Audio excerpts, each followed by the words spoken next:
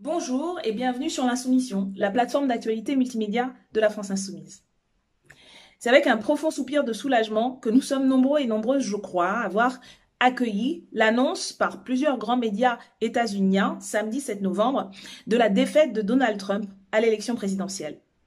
Une majorité du peuple des États-Unis d'Amérique a ainsi refusé que pendant quatre nouvelles années sévisse à la tête de la première puissance mondiale un suprémaciste blanc, sexiste, raciste, xénophobe et qui a accentué les tensions et l'instabilité au niveau international. Cette défaite a été rendue possible par une forte mobilisation électorale menée grâce à l'investissement des militants et militantes de la gauche, notamment de la gauche radicale, mais aussi des citoyens et citoyennes engagés dans les luttes pour le climat, la jeunesse en particulier, et les luttes contre les violences policières et le racisme. Cette défaite est fondamentalement leur victoire. Et elle et il auront d'autant plus besoin de cette énergie et de cette, ce temps de respiration que permet la défaite de Trump que malheureusement Joe Biden et Kamala Harris ne représentent pas véritablement une alternative systémique à, euh, ce qu'a construit Trump et euh, à ce que continuera à faire le Parti républicain. Joe Biden, qui était vice-président de Barack Obama pendant ses deux mandats, et Kamala Harris, qui a été procureur en Californie,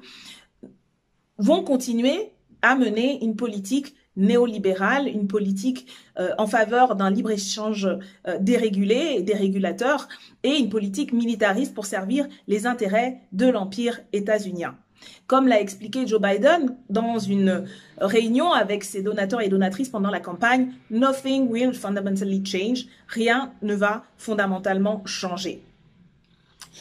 Les partisans d'une transformation sociale, économique et démocratique aux États-Unis sont pourtant nombreux et nombreuses. Et parmi les bonnes nouvelles de ce cycle électoral, où euh, avait lieu à la fois l'élection présidentielle, mais aussi le renouvellement d'une partie des sièges du Sénat et euh, des élections pour le Congrès,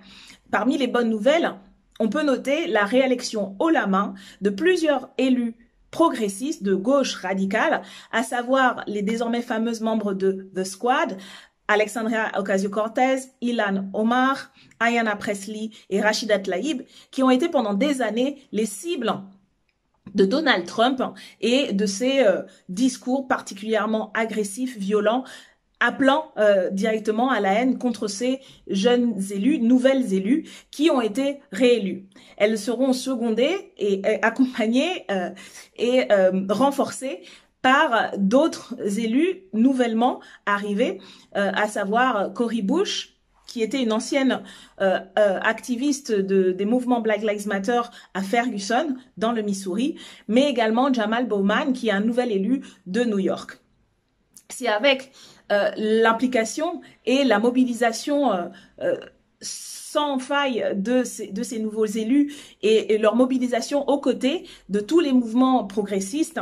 que le rapport de force nécessaire devra continuer à se construire aux États-Unis dans les luttes, dans les mobilisations et aussi les institutions au Congrès et au Sénat où Bernie Sanders continue à représenter aussi véritable, euh, un véritable projet alternatif auquel euh, nous nous adhérons en France et je crois des millions de personnes aussi euh, aux États-Unis. Trump est vaincu, mais la lutte continue là-bas comme ici.